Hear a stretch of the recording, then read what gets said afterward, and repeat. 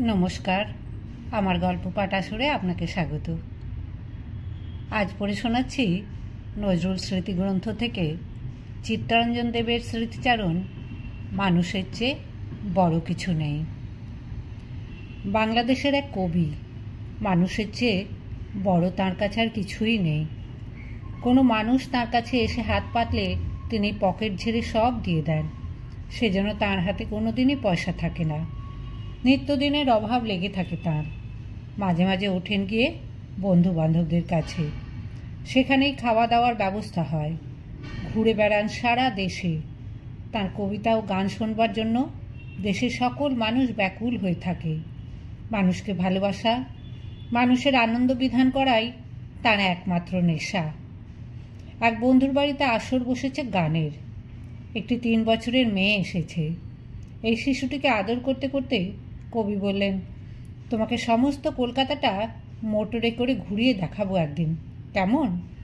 শিশুটি এসেছিল গ্রাম থেকে। ফিরে যাবার সময় হলো তার।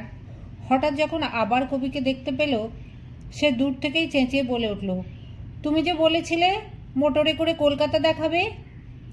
শিশুর কথায় কবি যেন লজ্জা পেলেন, অস্থির হয়ে উঠলেন।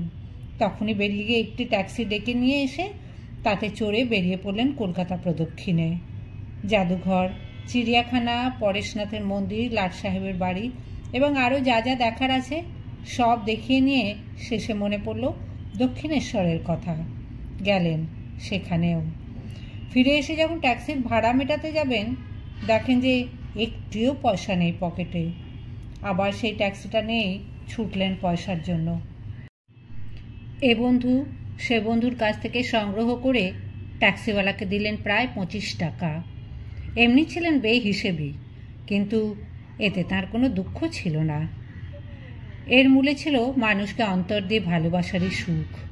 পয়সা উপার্জন কম হয়নি তার, কিন্তু দারিদ্র ছিল তার নিত্য সঙ্গী। দারিদ্রকে তিনি ভয় যে করতেন না, তার প্রমাণ আছে তাঁরই রচনায়।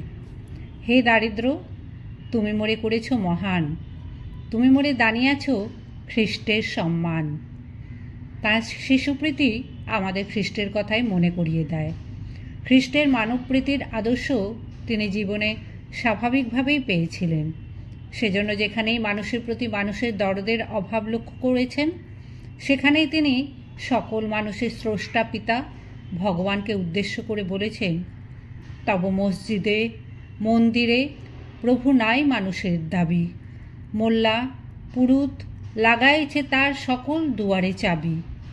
আমাদের সমাজে যারা দিন তুচ্ছ, সেই মজুর মুটে কুলিদের কথাও ভগবানের কানে তুলেছেন এই কবি।